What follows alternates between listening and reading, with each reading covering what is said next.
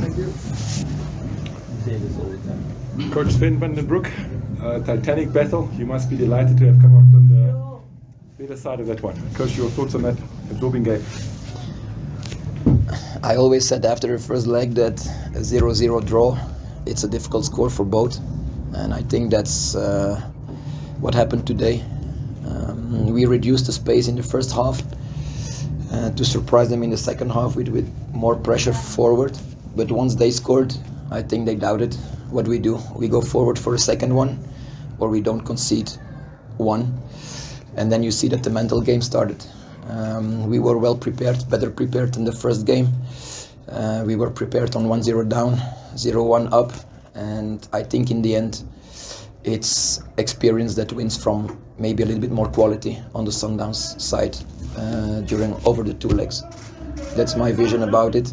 I have to uh, congratulate my players with a great, great mentality um, to play for the team, everyone. Uh, to go down in the first half to play on our own half. It's also mental because normally we are used to play high and to play dominant.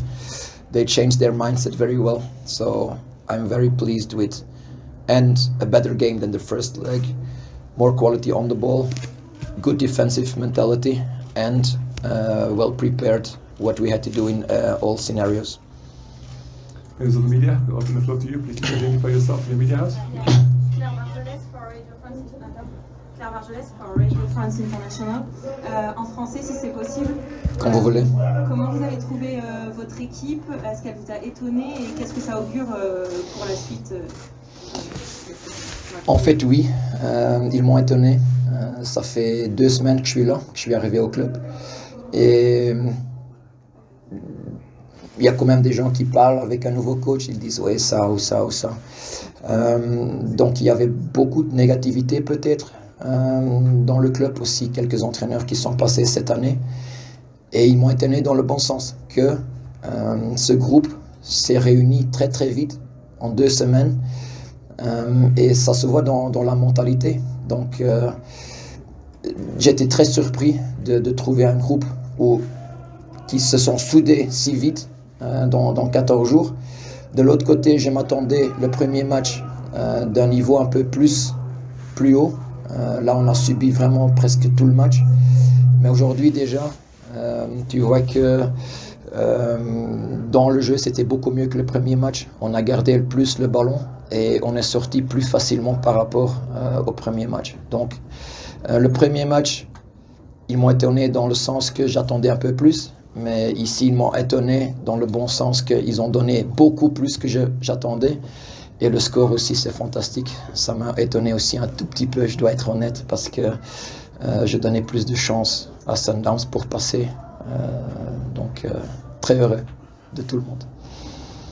Could you mind just a quick brief? Uh, yes, she asked me if my team surprised me. I said yes, because um, I came in two weeks ago, and um, when you spoke, when I spoke to people in, in, in the club, there was a lot of negativity uh, in the team. Oh, this one does this, this one is behavior, and that, that. But I have to say that in two weeks' time, um, they reunited again, and that you see in the two games that it was really um, a team on the pitch.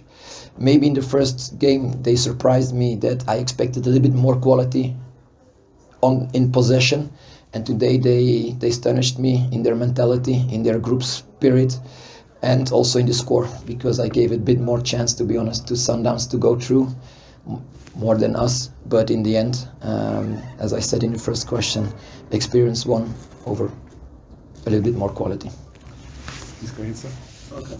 Um, Coach, David from the CBC. Um, yesterday you spoke about um, not you spoke about um, avoiding going toe to toe with Sundowns. Um, and during the week, one of the things that the Sundowns coach has spoken about um, was his concern about the set plays that he felt you dominated uh, in Casablanca. Uh, and looking at the winning goal, in fact, the goal that, that took you through um, today, was this a big factor for you coming to the set plays? Yes, um, I told already yesterday that we have an advantage in the air, and I think we scored two headers, one on a cross and one on a set piece. Um, it was also in the first leg an idea to to, to score on set pieces. And if you can do it away, it's even better. So yes, uh, we knew that we had an advantage in the air, and I think we succeeded in exploiting at least one, and maybe also the first one you can count as a, a cross with a header, especially on their left defender. Claudio, please go ahead. Uh, Good evening, Coach. Uh, Congratulations on the victory. Uh, Can you maybe just take us through what exactly is needed for, for one to go through, you know, such games? I mean, it's a massive, massive game. Maybe just the nitty-gritties of winning the African Champions League. And secondly, Coach, the supporters, uh, when you scored or equalized rather, you know, they were quiet and in difference from your supporters, when you guys go down at home, the supporters spur you on. Is that also a massive difference or power class between them supporters? Thank you. On your first question, it's my first time. okay, I, I had uh, experience to, to win AFCON as an assistant coach in 2017. I win some local trophies, but uh, in the Champions League, uh, it's also my first semi-final and final. So it gives you, yeah, in the last minutes it gives you a lot of nerves, and after the game, it's a massive weight that goes from your shoulder, um, and I'm quite calm person uh, on the bench also, but still, even calm persons on that after such result gets emotional and excited. Um, on your second question, yes, I think it's a bit culture. Um, maybe because of football in northern countries is the number one sport. Here, I think there are other sports that maybe are a little bit bigger than, than football. Um, and then you see that, uh, oh, we're 1 0 up, we have what we want, so we, we go quiet. I think it's a massive difference. Uh, I think it's culture, maybe a little bit, um, but uh, I cannot talk about too much because it, our fans are great um, and they have to stay great. And I think there will be 60, 70,000 uh, in Casablanca for the second leg in the final to support us. Uh,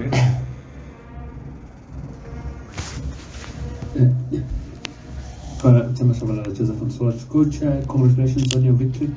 But looking at your first match and this one as well, playing 0-0 at home and coming to South Africa, what is it that you were banking on um, that uh, would actually see you through? And just take us, I mean, through to the to the final. Playing Al Ahly as well, uh, looking at how they are. I mean, they've got a Percy Tau as well in there who's representing South Africa. What does it say to you knowing that you're going to play Al Ahly and what what worked for you in the first and second leg to get you through? when I started analyzing Sundowns, um, I think my full staff was aware of their qualities and their strengths. Um, you could feel during two games um, when Sundowns takes the ball that they push us back, either if we press or don't press. They have passing skills and dribbling skills in midfield, up front, even in the back. Um, so we knew it, it's it was it was going to be a very difficult game, um, and we um, did almost 70% defensive work on training. Uh, who goes out, who doesn't, who stay, who picks up the midfielder on the opposite side. Um, but still, because they move so good and they turn all the game around, it's difficult to pick up people. Um, so sometimes um, that's communication. And then you have the fans. When you have 60, 70,000, you even don't hear what he says 10 meters further. Um, so that's experience that comes up. Um, and I think this team uh, of Wydad, who's in the semi-final in the last five years, if I'm not wrong, you can see that this maturity and experience helped us a lot uh, over the two legs. For the final, it's the same final as last year, so I can imagine that uh, wants revenge uh, over uh, over Wydad. Um, but I think it will be even more balanced game than this semi-final uh, because I, this semi-final uh, Sundowns dominated in the game. I think against Al Ahly we can play a more our game, uh, although I don't I know them well, but I didn't start analyzing because I was focused on this on this uh, game. Now we have two games, one in the cup and the league. So let's focus first on these games before we go into the final. We're very happy to go to the final, uh, like everyone else who plays a final. But we're in four competitions. So yes, we're still in the cup next Tuesday. Then we go in the weekend for the league, and then we also play in July the Arabic Cup. So we have massive objectives coming up, and game by game. Um, but in such games, you don't have to motivate players. In the final, they're always there, and everyone. So it's going to be an easy game for the coach to motivate. Okay.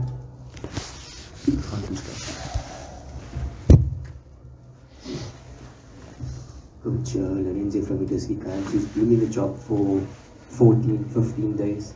Uh, just how mentally draining has it been for you to try and compete for this game?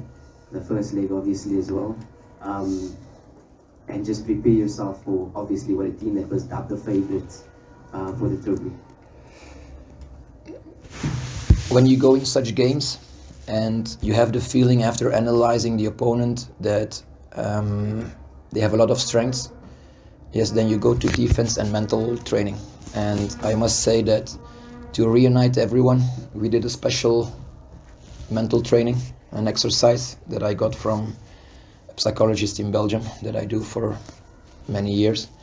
And it helps because you can see everyone's um, attitude uh, in a short period of time. So when you arrive and you don't have a lot of information, and I don't want to listen to everyone because everyone gives you information. It's so much. It's better to see with your own eyes, and it helps me a lot to to analyze the team and who's the leader, who's this, uh, who's the water, who's carrying the water, who's uh, um, and from this point of view, you're gonna set up your tactics, um, and I think it went well.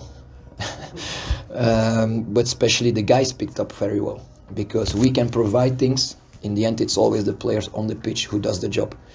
We can guide them, we can give them instructions, but they have to do it.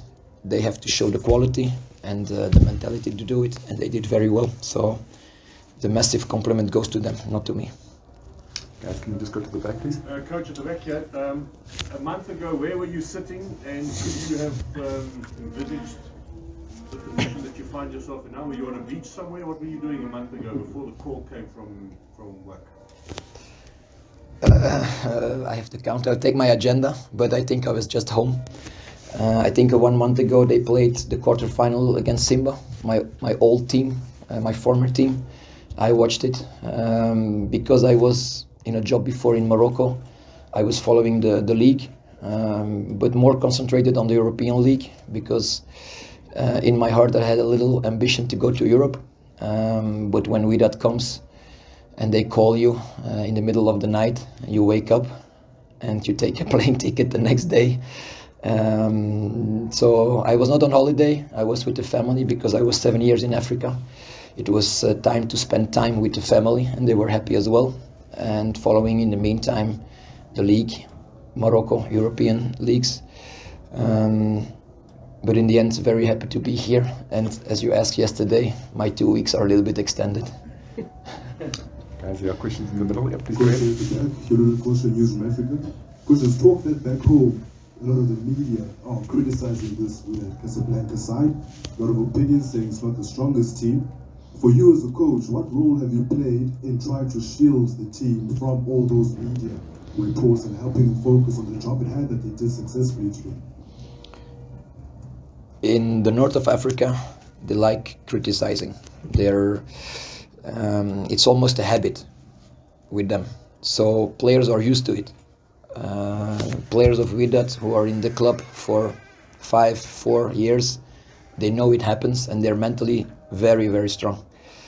Um, to shield them, yes, you take away pressure, you take away after 0-0 and one man more in the first leg, that it was not a bad game, that they played well. Uh, you, you change your talks to the media sometimes. I don't say you lie, but maybe you hide the truth a little bit, or you change the truth a little bit uh, to make your story in your dress room and to the media to protect them, to shield them, and to make them comfortable a little bit. that you're next to them. You're like a brother sometimes or a father. So yeah, it's a role that you play sometimes to be hard on them inside and sometimes or most of the time protect them outside. And if you see our number 10 who comes in uh, in the last 10 minutes, he was criticized a lot. When he came out after 60 minutes in the first leg, they whistled to get him off the pitch. And in the end, it's him, maybe playing his best 10 minutes of the of the whole season to take us in the last 10 minutes over the end and to make uh, uh, winning time and keeping the ball. So they know it, they're used to it. I don't say they're trained for it, but they can they can have something. And my role is this extra 20% to protect them, and that's a role you can play like Mourinho sometimes. Kamu, last question from you, Israel. Uh, coach, Coach uh, from Soccer Laduma, congratulations on the victory, first of all, and progressing to the final. Yesterday, you conceded that Sundowns are the best team in Africa, and you're not the first coach to claim that. Um, but today, you've obviously been victorious. Do you still do you still think that that's the case? And what is it that you think that they lack that they can't show it in the form of the trophy in the Champions League? I still believe in what I said yesterday. I think if you look at the technical and variations in their offensive play, um, I think you didn't see this in Africa for the uh, never. So they're very strong in this. Um, but to give an example, I think it take it took many many years for the runners to go one mile under four minutes, and once it happened, one month after, I think there were another five. Sometimes you have to win something to get over that point. And Wydad Casablanca is used to win some things, and they won already Champions League. Um, so maybe just that extra experience, um, extra mental part that plays. Uh, but if they continue like this, I think they will dominate the next couple of years uh, the Champions League. I will not say they will win it, but they will dominate and always go far. But to really continue a period of winning trophies, you have to get your first one. And not on the local league, but on the continent. Coach Vandenbroeck, thank you for your time. Thank you very much.